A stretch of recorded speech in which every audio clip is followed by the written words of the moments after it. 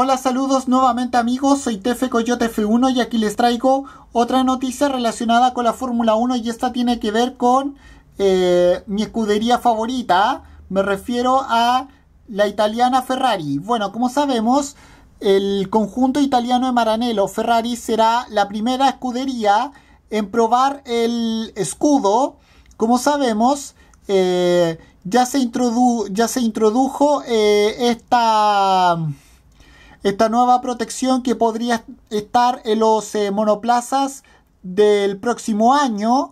Y bueno, y la escudería será la primera en tomar contacto con la nueva protección de, los Copic para, eh, para la próxima temporada de la Fórmula 1, la temporada 2018.